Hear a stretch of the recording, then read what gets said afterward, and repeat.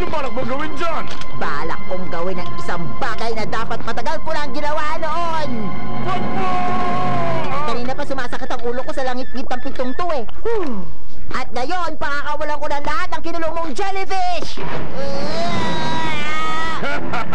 Hindi mo yung magagawa. Voice activated yung pinto. Magbubukas lang yan kapag sinabi ko salitang open.